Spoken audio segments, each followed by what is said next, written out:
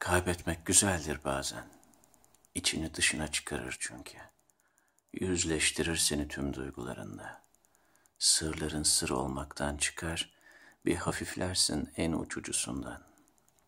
Kaybetmek güzeldir bazen çünkü kendine zaman ayırmanın en kolay yoludur sözüm ona o çok yoğun gündeminde.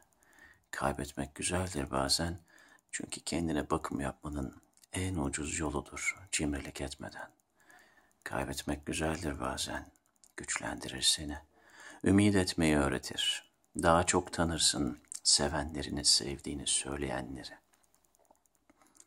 Daha çok dönersin içine, görmezden geldiklerine, yıllarca üstünü örttüklerine.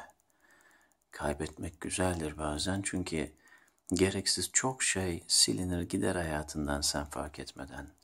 Olmadığın biri gibi yaşamaktan kurtarır seni.'' Rol yapmak zorunda kalmazsın artık kimselere. Azıcık soluklanıp soluklanayım deyip nefes tazelersin. Yapmaman gereken şeyler kazınır aklına hayatının geri kalanı için. Başka hikayeler için başka karakterlerle tanışırsın. Kazanma yollarını döşersin her kaybettiğinde, her kaybedişinle, her kaybettiğinle.